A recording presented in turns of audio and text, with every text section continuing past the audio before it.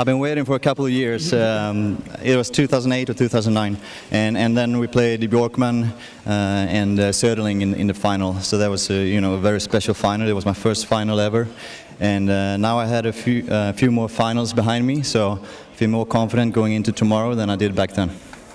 And Niklas, obviously you won the tournament last year. New partner, working well.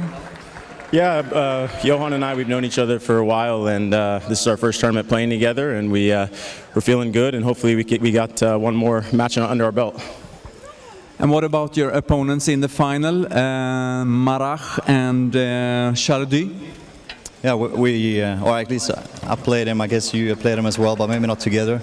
We played them uh, separately with other partners, so uh, we know what to expect. They are dangerous players. You know, um, sure they have a big serve, big forehand, and Marach returns really well. So it's going to be a tough match.